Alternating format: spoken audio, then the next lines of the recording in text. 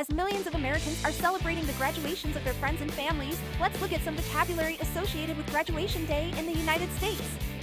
Commencement is the formal ceremony that celebrates the completion of a degree program and is synonymous with graduation. The commencement procession was long and festive. A diploma is a certificate issued by a school or a university to verify that a student has completed a course of study.